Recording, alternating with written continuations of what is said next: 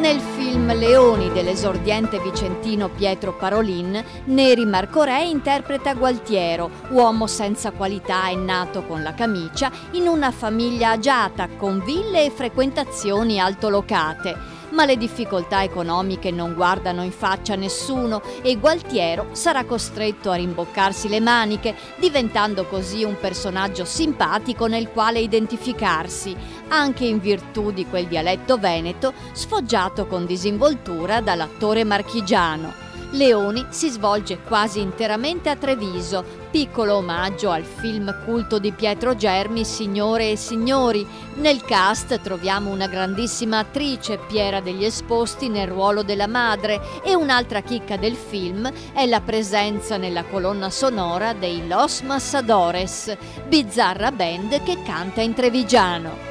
La storia produttiva di Leoni è esemplare. Il film è stato finanziato tramite un bando della Regione Veneto e ha avuto il sostegno di numerosi imprenditori come main sponsor, da Bisolla Stonefly, dalla Banca della Marca alla Latteria Soligo. Leoni arriva in sala il 5 febbraio con una serata ad inviti al corso di Treviso. È già tutto esaurito, i trevigiani muoiono dalla curiosità.